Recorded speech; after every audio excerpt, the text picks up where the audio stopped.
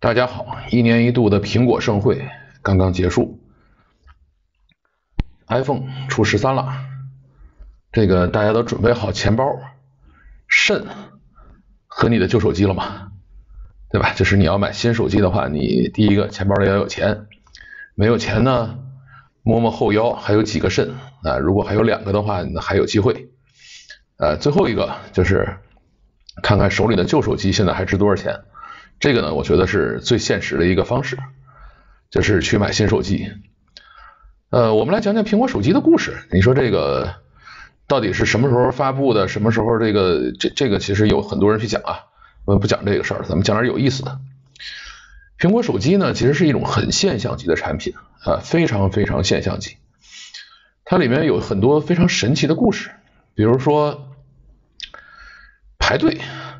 对吧？最早的时候，这个买苹果手机都是要彻夜到苹果店去排队的，甚至呢，还经常会有人去报道说，哎，说我在队伍里看到谁谁谁了，我在队伍里看到谁谁谁了，然后哪个队伍排了几天几夜，对吧？要要有这样的故事。但是这个故事呢，就给了这个中国玩家一些奇怪的启示，对吧？奇怪的启示，这个启示叫什么呢？叫饥饿营销，哎，叫饥饿营销。这个后来被小米和华为玩的这个呃风生水起，苹果呢已经后来不玩这件事了。哎，苹果以后呃最近几年吧，都是会在这个手机发售的同时的话，进行大量的备货。哎，他们以前呢也不是说故意搞饥饿营销，他其实做是确实是做不出来。就是以前的这个手机生产和备货模式呢，不支持这种，就是当你这个新机发布以后，有这么多的人冲上来去买。或者说有这么多冲动消费的这个过程，他们不适应。哎，苹果后来在慢慢的解决这个问题，但是国内的话依然是在玩饥饿营销，慢慢慢慢在搞，对吧？这个当然我们也不知道啊，这个你没法说这个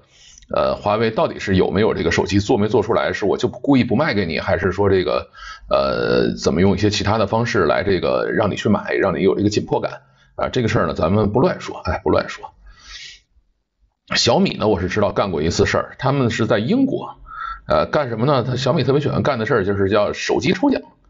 就是呢，你到我这网站上来报名注册，然后呢，去把这个最后呢，你你可以用一个很便宜的价格来抽到这个手机，然后这个事儿的话是被起诉了，为什么呢？就是有些人啊就把这个小米网站给扒了，就是等于是用爬虫把整个的小米网站拉回来看。然后发现呢，就是任何人只要上去填，他连判断都不判断，他那个里头后台代码就直接告诉你没中奖就完了。因为你挨个判断这个事儿，他肯定很麻烦嘛。这个事儿呢，这对于英国来说，它就属于一个欺诈。但是你在中国其实无所谓，你我愿意告诉你中中中奖就中了，告诉你没中奖你就认就完了，对吧？你你拿他也没什么办法。但是英国人不行啊，英国就要求是什么呢？你如果说你要抽奖，你必须公示。你到底要中几个？然后你比如说我要这个一百个人抽抽十个，啊，你必须要先说出来，你不说出来都算欺诈。哎，他们他们是大概几十万人还是多少人上去抽？然后呢，按小米官方的说法呢，是最后大概是抽一个还是抽几个，对吧？但是呢，他前头就没跟人说，而且呢，他在整个的代码里头实际上也没有任何的这个判断你是不是中奖的这个过程。对，这是这是苹果销售的一个故事和他们所带来的饥饿营销。另外一个在苹果销售过程中的一个故事是什么呢？就是我印象里大概是叫 My wife said no，就是说忘了是在苹果几发售的时候了。然后呢，他就这个有一个人排了很长时间的队，然后买到了苹果手机，然后过一段时间去退货，然后退货的时候呢，他里头加了一个条子，说我老婆不让买，就是我 My wife said no。然后呢，苹果也觉得很有趣这个事情，他们呢就会去，呃，就最后又把这个手机寄回给他了，就是钱我不要了，但是手机我送给你。然后呢，后边加了一个条子叫 Apple said yes，就是苹果说可以，对吧？它呢就是呃会成为一个时期的热点，就是每一次有苹果新机发布的时候，都会成为一个时期的热点。这个所谓的热点是什么呢？就是第一，它会变成一种叫一般等价物。咱们说一般等价物，好多就是跟钱、跟现金、跟什么这些东西是一样，对吧？它的价值比较稳定，然后呢，大家愿意用这个的价值东西呢来衡量一个普遍的一个社会价值。只要是这个苹果发售时期，比如是 iPhone 十二、iPhone 十一前面吧，现在可能差一点，哎，前面这个早版本的这个苹果发售的时期呢，呃，你只要任何抽奖，任何这个呃这个奖励活动，任何什么这个，就是我现在比如说你你来购买我的什么呃这个一个一个会员，假设你给我购买会员，购买然后我一百个里头抽十个，抽的一定是苹果手机，抽的一定是苹果手机，绝不可能是什么小米手机、华为手机，这不会干这事儿。啊，当然这几年可能会稍微有些小变化，这几年稍微有些小变化。早期绝绝对是苹果手机，为什么？因为苹果手机的价值是被大家所认可的，哎，甚至呢，在通常每一款苹果手机发售的早期呢，它会变成理财产品，因为为什么？就大量的黄牛，大量的这个搞金融圈的人会冲进去囤这个苹果手机，就是为什么后来就是早期他买不到啊，因为都被他们囤了。囤完了以后，他们会操控这个市场的价格，让每一只手机的可以多挣出几千块钱来，对吧？他来挣这个钱。当然后来苹果也是在想办法治理他们，对吧？他觉得这个事儿是呃不可以跟苹果销售来去掺杂的。哎，他苹果后来在治理，治理的方式是什么？就是我囤一大批货，你买吧，我让你买，把你所有现金都占住了以后，然后我接着往外放货，然后让你这个亏掉，对吧？这个呢，到现在为止呢，小米和华为还没学会这件事儿。他们呢还是在干这个，就是第一，饥饿营销完了以后呢，给黄牛留出足够多的空间来，因为黄牛其实会解决一个很大的问题，就是他会用现金，然后呢直接把你的库存都清干净，然后你就可以拿着这些现金去干别的。所以这个在比如说华为，特别是华为可能发了一个新机以后，在相当长的一段时间里头，你会发现，哎，华为官网买不着，华为线下店也买不着，但是你在淘宝上能买着。加点钱你能买着，小米也是这样的，你在小米官网买不着，哎，线下店你也买不着，哎，但是呢，你在淘宝上，在所有的买，哪怕是这个二手机的什么闲鱼上，你都能买着，加钱，哎，你都能买着。那就是他在给黄牛留时间，他跟黄牛之间呢达成了一种默契，当然不是说大家坐下签个协议，说我这么做你那么做，哎，不一定会有这事儿，但是呢，就是相互之间是有一个默契的。就是我要保证这个投放的一个节奏，然后呢，你黄牛在这里头就有有东西可做。呃，呃，苹果不跟你玩这个，只要是这个，呃，他发现有黄牛炒作，有什么东西，他就想办法要打击你，要收拾你，因为人家就是卖苹果手机的，你其他的人你去干预我这个事儿，我就不乐意，对吧？这是这是苹果的一个故事。然后呢，中国跟欧洲的 iPhone，因为我是在二零一六年吧。啊，好像是二零一六年跑到跑到法国去，然后呢，发现他们用的 iPhone 在至少比中国要落后两到三年，就是两三年前的 iPhone 他们都在使，因为它也没有那么多的应用游戏或者是这些东西需要需要去装，呃，你作为打电话或者普通的 Facebook、Twitter 一下也够了，也够了。但是中国人的话，就是每次是要买新 iPhone，的呃，每次是要买新 iPhone 的，对。前面我们讲到说，这个只要 iPhone 新机一发售，然后呢，至少大概有两个月到三个月的时间，然后大家都会用 iPhone 来作为各种各样的抽奖礼物，或者是这个呃一般等价物来标识，说比如说我今天买了一一个这个什么什么汽车，然后这个汽车价值，比如说这个二十个 iPhone 还是什么什么，他会他会搞这些事儿，为什么？因为 iPhone 呢它自带流量属性，所以它属于一个流量低地。就是你比如说，我是现在做一个抽奖活动，我是用呃小米手机，哎，或者是用 OPPO 手机去做抽奖，那它可能关注度或者传播度它是一个一个状态。但你说我现在是一只 iPhone，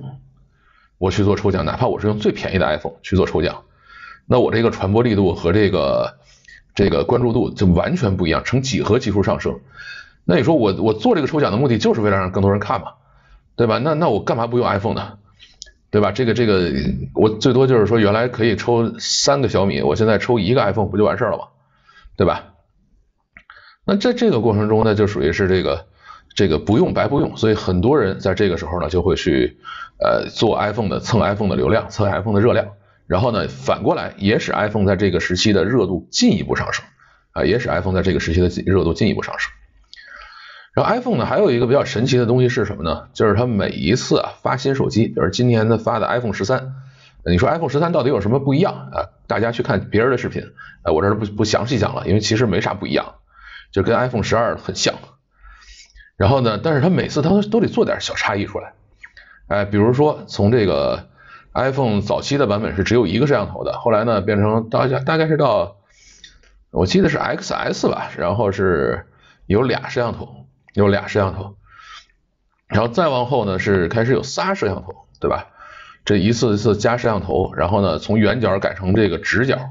然后呢再加颜色，就是每一次的这个 iPhone 升级以后啊，你说哎我屏幕变了什么变化？我这个这个芯片做了什么变化？我的里头的系统做了什么变化？啊，这个是 iPhone 可能每年，比如苹果公司每年要去思考的问题，然后大家也去用。但是这个东西并没有那么主要，它的核心关键就是要变变颜色啊，变外观。为什么呢？就是每一次 iPhone 一定要变个颜色是为什么？就 iPhone 是有极强的社交属性的，就是叫锦衣夜行是不行的，对吧？你说我穿了身好衣服，晚上出去没人看见，这事不行。那我如果拿了一只 iPhone 十三举到大街上，你以为我拿的是 iPhone 十二，那这事儿我肯定就亏大发。所以一定要用新的东西，让人一眼就可以看出来，哎，这是 iPhone 十三，不是 iPhone 十二，对吧？这个我去，我现在用的是 iPhone 十二，但是录视频的这只应该是是一个华为，看看这个。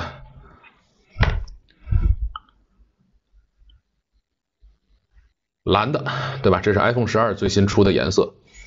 那么所有每一次这个 iPhone 十二也好，iPhone 十三也好，iPhone 十一也好，你只要出了，它一定要有一个特别明显的标识，说哎这是新的，你一看它就知道你你是新版本的，不是旧的。然后呢，每一次这个版本的机器还会卖的稍微贵一些，可能但是贵的不多，就是 iPhone 自己苹果自己也会把它卖的稍微贵一点点，啊贵的不算太多。目的就是为了满足这个社交属性啊，满足社交属性。然后呢，这个 iPhone 啊，其实从产品上说呢，它会有一些很神奇的东西。它技术不一定用最新的，它们 iPhone 其实经常是不会用新技术，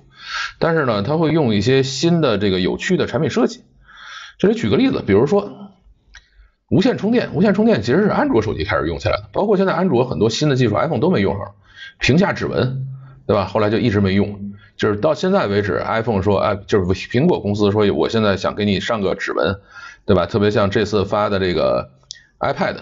啊，他会给你上个指纹，他会把指纹做哪儿呢？做在那个按键上，啊，它它侧面有一个按键，我在那上给你做个指纹。然后那个等于 iPhone 做全面屏以后呢，等于就直接把这个指纹干掉了。然后安卓一直是有这个叫屏下指纹的，iPhone 就一直没做。然后还有像什么呃小米 Mix 这次出的这个叫屏下摄像头，对吧？就是你像 iPhone 说，我我处理的方式就是把那个上的刘海给你变变小点，但是小米说我已经很极致了，我把这个摄像头坐在屏幕底下，然后呢这个屏幕在摄像头这块依然可以显示，然后呢你又可以有前置摄像头，又可以这个有一块一点口一一点缺口都没有的完整的屏幕，对吧？iPhone 现在这些东西都没用。但是 iPhone 呢，比如说咱们它会有一些什么样的创新呢？它就是用户体验上的一些创新。啊，这么多安卓手机都有这个叫做无线充电了，然后 iPhone 说我也来无线充电，对吧？无线充电完了以后呢，安卓手机这么多年呃设计了无线充电以后，这个一直有一个困扰的问题，就是对不准，对不准，就是你经常会发现把手机搁在那个无线充电器上去充电了以后呢。然后呢，过一会儿说，哎，现在充电的效果差一点，实际上什么呢？就是那个线圈里边的线圈跟外边的线圈没对准。然后苹果说，那咱搞一个专利，哎，咱咱折腾一下是什么呢？叫 MagSafe，MagSafe 是干嘛使的？MagSafe 是在那个上面加了一磁铁，就是在苹果手机上搁了一磁铁，然后呢，你在这个充电器上也搁一磁铁，我就给你把这个对准的问题解决了。然后苹安卓其实发展了这么多年的这个，就是它可能早比 iOS 大概比安卓啊比 i iPhone 吧早个两年就开始有这个无线充电了，哎，但是呢这个这个苹果说我上来我给你做个磁铁在上边，哎，无线充电这个功能没有任何改变，甚至是它的功率什么这些东西可能还没有安卓的那个手机高，对吧？那但是我让你好用了，让你一上这个手机往上一贴，啪磁吸上，我把对准的这个问题 给你解决了。甚至我还可以在上头吸点什么公交卡呀，吸点什么卡包啊，吸点这种东西。哎，这个是苹果的一种创新。哎，这几年的话，还有一些新的这种说有可能会用上的东西。哎，比如说什么呢？远程充电。啊，这个小米就做过一个这种远程充电的这种设备，就是说我可以这个从很远的距离，然后可能在一个屋子里都给你充上。这个呢，就是就是大家不太敢买，好像卖的也不怎么样那个东西。他是用一个什么方式呢？就是他发现你的手机在哪儿，然后呢，发现这个手机跟充电器之间也没有人，因为有人的时候，你等于把这个电磁波就全都打在人身上了嘛。然后他对准那个手机，然后给他发射电磁波，然后呢给这手机充电，这个事儿其实是很危险的，很危险，这大家也不太敢用，也不太敢用。呃，这让我想起来，在早期我大概是在九九六年、九七年的时候见过一个产品。那个时候 WiFi 还没现在普及，就是它那个时候没有什么 WiFi，也也开始刚开始有 WiFi 标准。那个时候呢，日本人就做了一种很奇葩的这种无线联网技术，它是用什么呢？用红外线，就是用咱遥控器上用那种红外线，然后长得呢像个小机器人似的，你把它搁在桌上以后呢，它会自己扭头，咔咔咔咔转，转完了以后呢，找到你每一个房间里那个红外线探头，就是它的那个路由器是一个红外线的一个发射机，在装在屋顶上。当时那个做那个设备的最主要原因，就是因为有很多这个古老的建筑，然后呢你在里头去布线是不行的，所以呢他们就做一个这样的东西，像灯一样吊在房顶上，然后每个人的桌子上呢绑呃支一个这个呃无线的这个接收器，然后呢他每次需要去联网的时候，呃他会转，先先横着转，然后呢在这个竖着找找方向，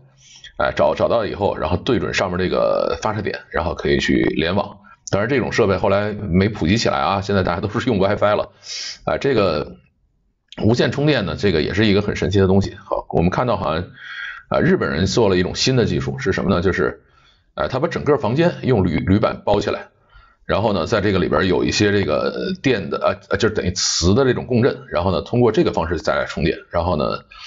但是这个也有也有它的问题，就是他们已经试验成功了，说我把这整个房间用铝板包起来，然后呢，它这个磁场会发生呃波动，然后呢，再用这个方式充电。这个手机呢，等于不需要再对准了嘛，你就在这一个场里面啊，然后呢，这个磁呢本身对人体的危害又比较小，这个磁共振波对这个人体的危害比较小，而且可以达到就是你不用对准了嘛，你得整个屋子都是在这个场里面。嗯，然后手机可以达到五十瓦的这个快充，也许以后这个会变成这个像咱们现在使用 WiFi 的这种东西，呃，但是它有它的问题解决不了。你比如说，你真的把一个房间用整个铝板包起来，那你这房间里头就是法拉第笼啊，你就你就彻底没有信号出去了，你可能还要解决这样的问题，对吧？而且呢，其实人你说你你怎么能够让人相信说这东西是对人体安全啊？这个也是一个非常非常难的一个问题啊，非常非常难的一个问题。下边我们来讲讲这个今天讲的这个下一个话题，哎，就是旧手旧手机回收，极大的刺激了新手机的销售。哎，我呢在猎豹的时候，呃，做投资那个时候呢就见过这个爱回收的创始人，爱回收的创始人。当时呢我们也想投资他，但是后来没投成啊，后来是被京东投了。这个他们呢就是哎回收旧手机，实际上大家想说。刚才我讲欧洲人那例子，就是他手里有一个旧手机的时候，他没有换新手机的动力，因为你想一个手机，像不像 iPhone 这种，你要买一个这种大号的，这个基本上就一万多块钱嘛，一万多块钱，对于很多人来说，可能就是一个月薪水或者半个月薪水了，这个这个事儿很痛苦。那么呢，这个爱回收，它就解决了一个问题，说，哎，你把原来去年那只手机，因为 iPhone 其实保值还是比较高的，你如果不磕不碰，然后只加上壳什么的，加上膜。然后你用完一年以后的话，它可能还能剩原来呃百分之五十、百分之六十的这个价格啊。那你说我只要用一半的钱，我就可以去买新手机了啊。当然苹果自己也出那个以旧换新业务啊，但是其实没有没有那个爱回收的好使啊，没有爱回收的好使。然后大家就可以去去这个呃把旧手机出了，然后呢去进一个新手机。当时呃为什么这个猎豹想去投资爱回收？是因为他想着说，哎，你要上新手机的时候的话，我是不是可以？因为就是所有爱回收的这种点，或者是这个呃回收宝或者其他的这种呃手机回收点，都干一个什么事儿？他会卖新手机，或者说卖这种翻新的二手手机，他会干这个事儿。然后呢，干这个事儿的同时呢，这个当时就我们就想，是不是可以把猎豹的 APP 直接装进去？所以呢，当时想去这个投资这样的一个项目。然后京东呢，其实更简单，就是说它有这个二手手机的业务。对吧？他有二手手机的业务，我就把这个二手手机那个可以直接通过京东平台，京东他自己还有完整的快递，对吧？我可以去来做这个事情，而且呢，做这个就是我可以，就是你把二手手机回收了以后，我还可以马上把新手机卖掉。京东希望要的是这个新手机的这个销售机会啊，甚至是一些二手手机的销售机会，它都是都是需要的，所以京东最后投资了它。这个当时呢，我们就去问这个爱回收的这个创始人，因为就是我比较因为做投资嘛，就是有机会跟这个 CEO 直接去沟通，说这个东西到底是一个什么样的生意模式。然后他就给我讲，他说这个东西是这样，就是第一件事呢，你要识别这个手机，你你首先要估价嘛，你第一件事你要评估，说这个手机到底是一个什么样型号的手机，因为大家知道这个北京中国有一个很神奇的地方叫华强北。哎，他会把各种这个手机做的都很像，就是有现在有什么特别火的手机，他会做的非常非常像。那你说你个回收手机的，如果再被人骗了，这事儿你肯定就亏大发了嘛，对吧？所以他就跟当铺似的，就是你你得上来说，我先得看看你这东西是呃光板没毛、虫吃鼠咬，然后这个一件这个什么皮袄，还是说一个一个完整的皮袄，或者一个纯新的皮袄，对吧？他得能识别出来。当然，你说我上来以后就跟当铺似的，我就一个好的皮带一来了以后，我就光板没毛，虫吃鼠咬了，那这事儿不行，你就等于没有信誉了。所以呢，他还是说我要尽可能的如实的去给这个产品去评估，对吧？很多人用这个爱回收呢，其实不一定跟他交易，但是呢，他会有时候会到网站上去看看，说，哎，说我的手机现在值多少钱了？他会去看一眼。他这个评估工具呢，你要看看完了以后，你比如说，哎，发现你手机还值五千块钱。这个时候你拿着手机去这个呃爱回收的时候，比如去店面也好，或者说直接网上下单，他来给你拿走也好，然后你最后达成交易啊，你不能差太远。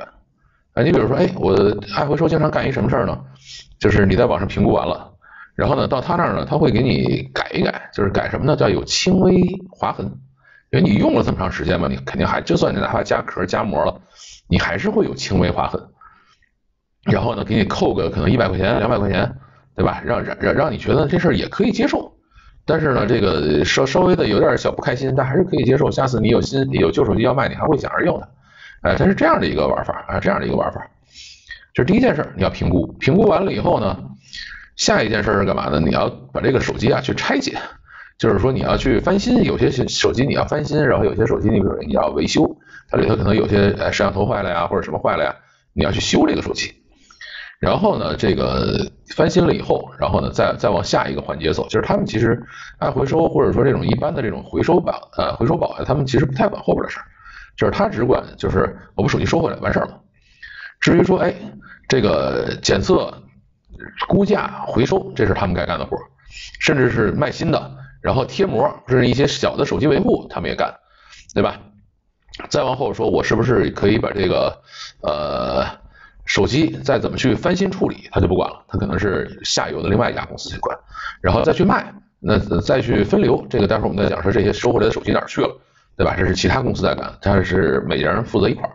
然后回收宝呢，也是这几年发展起来的一个比较大的这个手机回收的一个呃项目，啊，这个呢还有里头还有一些 人呢是我以前同事，这个同事是干嘛的呢？就这一个团队是干嘛的呢？原来是做安兔兔的。呃，大家不知道有没有知知道安兔兔的故事？安兔兔呢是一个手机跑分的这个工具，就是你只要手机上装上安兔兔，然后给你跑一分，然后大概你这手机这个多少多少分？我记得雷老板原来有一个特别神奇的这个这个话语，就是不服来跑个分啊，讲的就是安兔兔。对，然后呢，这个这个里头呢，这个因为我们是在猎豹嘛，猎豹实际上是雷老板控制的一个公司，然后呢。呃，我们就去把安兔兔收购了，就把安兔兔收购了。但是你说这个安兔兔收购了以后，是不是在跑小米手机的时候呢，它这个分数就高；跑其他手机的时候分数就低呢？呃，在这儿我要说呢，确实还没有，还没有这事儿。呃，为什么呢？就是安兔兔是一个很奇葩的一个软件，就是它中间的那段代码，核心代码是不是安兔兔自己代写的？不是安兔兔自己代写的，就是我真正跑分那段代码不是他写的，那谁写的？它是一个开放的，就是说我们现在要签约，比如说你是高通，你是这个 MTK，你是小米，你是华为，你是谁谁谁，呃，麒麟或者说是英特尔，呃，是 NVIDIA，你要来跟我签约，然后你签约了以后呢，我就把这段代码开放给你，然后呢，大家可以一起来修改这个代码。你不签约，说我不加入你这个故事，我不不向你交钱，那那你就别别管，那你就是用别人跑好的代码来在你的手机上跑分就完了，你就别别管这事儿了，对吧？但是呢，这个如果你签约了，那么这个代码是对大家开放的。然后呢，高通说我现在出一个新的 CPU，对吧？然后呢，用原来的方式已经跑不出来了，那我要修改这个代码，然后提交了。提交完了以后呢，MTK 啊，什么英特尔，他就能看到这段代码。他也会拿这个新的代码来跑自己的手机，他说他可以同意也可以不同意，他大家商量。哎，大家都说哎这是一个合理的一个东西，然后那咱们就用这个来跑，对吧？所以你说这个呃，就虽然说是呃呃等于雷老板是间接控制了安兔兔这个公司，但是呢安兔兔相对来说还是比较公平公正的，呃比较公平公正。呃，但是后来有一个中间有一个小故事啊，有一个小故事，就是有一次呢安兔兔做了一个升级。升级了以后呢，这个有个二二货在上头写了一个升级的这个原因，说升级的原因是因为这个我们要修正一个错误，这个错误是什么呢？是这个忘了当时 OPPO、vivo 还是谁了，反正这家是那个用户的那个手机跑分比小米高，就把这些话写上了。但这事儿是什么意思呢？其实后台的故事是这样的，就是他们呢用了 MTK 的 CPU，然后呢 MTK 呢。在看了这个整个这个跑分代码以后啊，他在这个手机里边专门做了一些功能，就是呃在芯片里专门设计了一个一个套路，然后呢可以来骗这个跑分程序，然后让这个手机在它那个就是在它那个跑分的时候让它跑得更高。但是呢，这个当时这个安兔兔的人看完了以后呢，也是觉得这事儿是不对的，就是首先这个。其实跑分这个事儿本身并没有那么严谨，它跟你的手机硬件环境、跟你的软件环境、跟你里头装了多少 APP 什么都是有关的，对吧？它本身并不是就是你一个手机从你买了新的到你用了一段时间以后，它那个分数会变。但是呢，说你第一大的是要嗯跟这个用户的这个主观体验一致，比如说这个用户用这个手机，你明显感觉比如跑游戏跑得慢，对吧？然后呢，另外一个手机跑游戏跑得快，但是你说这个跑得慢的这个人，这个手机，这个跑分还比那个那个使用很流畅的那个手机跑得好，跑得高，那这事一定是有问题的。然只只是这个这个二货呢，写这个什么的时候，写这个呃升级这个备注的时候呢，给写错了。但是后来被人诟病了很长时间。这这里讲啊，就是说安兔兔其实还是一个比较公平公正的东西。然后安兔兔团队呢，呃，收购了以后啊，他们应该也是基本完成对赌，然后这些人就离开了。离开了以后呢，就是真正的技术团队啊，就是加入了这个回收宝。为什么呢？因为刚才我们讲了，这他们第一件事就是你要能够把这个手机都盘清楚，到底是哪个版本的，然后这个呃，到底是这个用了哪些配件，配件是不是原装的，是不是拆过。你需要有一个能力来鉴定这件事，所以安兔兔这帮人呢就干这个事儿是最合适的，对吧？他人家就本来就是做手机跑分的嘛，哎，所以呢这个就是啊回收宝后台就是就是安兔兔原来的技术团队在做啊，然后呢这个还有一些其他的这个后来者啊，最近还有一些这种什么什么找靓机啊什么，大家都在都在干这个手机回收这个业务啊，这是一个挺大的市场，这是一个很大的市场。然后后边我们讲这个手机被回收了以后都去哪儿了？都去哪儿了？这个最主要的呢，就是叫翻新销售了，重新卖掉了。那你说我是不是有时候买的手机会是这个呃翻新机啊？通常情况下，翻新的机他会告诉你，他不会把翻新机当新的卖给你。这个当然我们不能排除啊，说是不是有人把翻新机当新的卖给你了？这事儿我们不能排除。哎，但是大部分情况下呢，都是这个呃，就是手机还不错的情况下，哎，他们会翻新来销售。翻新的过程，比如说你原来有呃磨擦呃划痕了，啊他给你换个壳，啊你屏幕裂了或者屏幕有这个呃什么了，我给你研磨一下，或者说我给你换个屏幕，对吧？他他会拿去卖，然后卖到哪儿去呢？第一个是卖到东南亚去，就是我那时候在印尼雅加达就见过大量的人把那个当时的这个三星的 Note 系列的手机，然后呢从国内用集装箱拉到那边去重新卖，对。但是这种手机就是厂家是没有保修的啊，厂家就因为它已经过了保修期了啊，厂家就不给你修了。但是呢，手机这个东西其实挺皮实的，就是你经过翻新以后，正规厂商翻新以后呢，呃，还是挺好用的，还是挺好用的，再用个两年什么没啥毛病，对吧？然后呢，国内的话就有些二三线城市啊也会见到这种机器，然后这些翻新机呢，在这个京东上也专门还有机地方卖，然后包括在这个现在还有这种什么叫找靓机，专门就卖这种翻新机的。哎，有时候是这样，就是你其实 iPhone 十三出来，你其实你用 iPhone 十二也没什么毛病，不会不会说差别特别大的，对吧？除了那个最新的颜色没有，你你其他的其实不会差那么大。但你说我现在用 iPhone 十一或者用 iPhone XS 什么这种更老的，呃，就就就会差一点啊，就会差一点啊。但是通常情况下没有那么大差别。啊，这个呢，呃，就是第一个去处是这个，第二个去处是什么呢？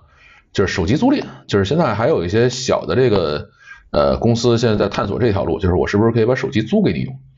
啊，你不需要一个新手机，但是这块呢，其实一直用的没有那么好，因为手机这个东西实在太私人了，就是你换一次的成本也挺高，也挺麻烦，所以好多人他不爱干这个事儿。就是我就一个手机，哪怕便宜点、旧点的，然后我反正我就一直用着。啊，你去租一个手机这件事儿呢？你说租一个月，过两天还得还给人家，呃，可能有有，反正我至少跟我的消费习惯是差异很大的。这个，呃，也许有人喜欢用这种租赁手机，可以回头分享给我说，我为什么用这个东西？啊，用租赁手机租俩月以后再还掉这个事儿，呃，到底是一个什么感受？这事儿我是完全没有没有感觉的。还有些手机干嘛的呢？就是流入这个黑暗市场。黑暗市场是什么意思呢？就是他们会拿手机呢去做群控或者做这个刷量，做什么这样的事情啊？这个呢，呃，量不是很大，但是反正也存在，也存在。就是呢，这些手机啊，然后像僵尸一样，然后插在架子上，然后呢是靠这个呃脚本或者从外部来控制它的，然后呢来做一些统一的动作，模仿真人做一些统一的动作啊。这个事儿呢也有一批啊，也有一批。这个最后的呢，就是真的去回收了，就是旧金属回收，因为这个手机呢还是有一些这个旧的东西的，还是有一些旧的东西，比如说里头有金子，有什么这个元器件，就是你如果直接把它扔了，特别像锂电池这种东西啊，它很危险，而且呢也非常危害环境，就是你把它整个回收起来呢，还是值一些钱的，还是值一些钱的，而且大国家也给他们补贴，让他们来干这个事儿。啊，我我见过一些这个处理这个就是终端手机的这个公司。或者团队吧，他们经常会这个把新手机当这个旧手机直接处理掉。什么情况会干这个情况呢？干这个事儿呢？你比如说这个，大家走到这个营业厅去，比如联通的、移动的、电信的营业厅，他们啊经常会做那种叫特供机，那手机也没牌子，就是叫中国电信牌啊，中国联通牌啊，然后呢这些手机呢。这个你买联通、电信套餐的时候呢，他就送给你，让你去用，然后也挺老大个的，就是它配置其实差不太多。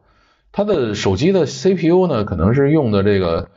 比如说这个珠海全智啊，或者说上海的那个芯片厂，就是它反正用一些小厂的那种芯片，啊，它不是用的高通的，也不是用的什么 MTK 或者是这个麒麟，它都不用，啊，它用一些这种，呃，中国是有几个几个这种，就是也挺有名的这种芯片厂，啊，他们也在做这个 ARM 芯片。用这种芯片做出来的手机，然后拿去卖，对这个呢，比如说过一段时间它就彻底旧了，就彻底卖不出去了，因为那个手机更新换代还是很快的嘛，就中国人每次还是喜欢追时髦的，